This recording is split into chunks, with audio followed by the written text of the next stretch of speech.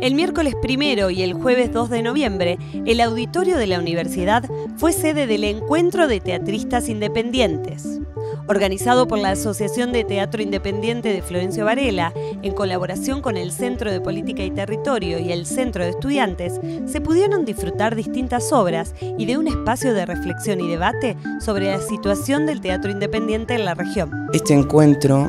eh, surgió por la necesidad de los grupos de teatro independiente de Varela eh,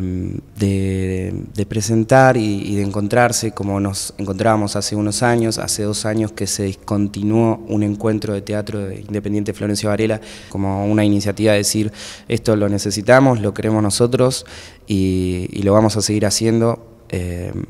por más que no haya impulso en otros lugares. Así que me parece que lo, mejor de, esta jornada fue venir acá a la universidad y, darnos cuenta de que la universidad también es productora de cultura, eh, es un lugar para apropiarse y, que tenemos que estar acá presentes. Hay algunos monólogos, hay algunas obras eh, de comedia, hay la mayoría de los grupos son formados de talleres que se dan en la Casa de la Cultura o en la Biblioteca Sarmiento.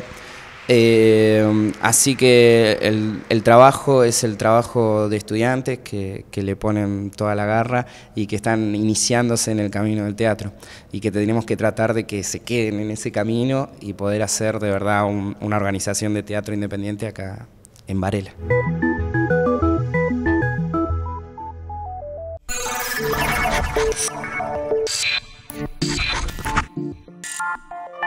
Música